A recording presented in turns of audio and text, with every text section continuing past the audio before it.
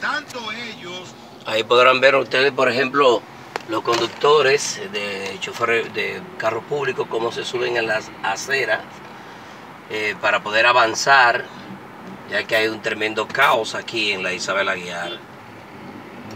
Ellos están ocupando las aceras, están subiéndose así encima de las aceras, como si fuese otra vía más de la avenida Isabel Aguiar. Tremenda situación la que está pasando en este momento aquí en la Isabel Aguiar, próximo a la 27 de febrero, en la zona de pintura.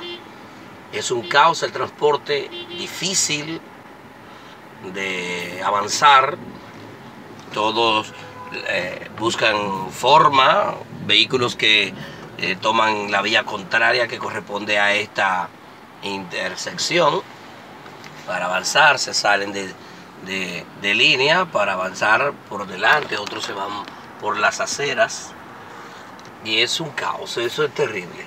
O sea, lo que, los que están eh, tratando de mantener el orden, o sea, eh, eh, seguir su propia línea, pues no pueden avanzar porque los demás se meten hacia adelante. Mire cómo va ese saliendo para irse por la vía que le corresponde al que viene de frente, o sea, la parte de la doble vía.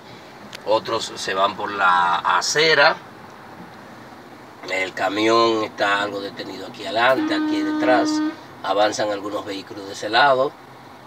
Eh, porque están yéndose a la derecha en la próxima intersección que está próximo a la estación de gasolina. Pero esto es terrible, esto es terrible, de verdad que sí. Bueno, seguiremos informando para el derecho de prensa y CTV, Alan Vargas.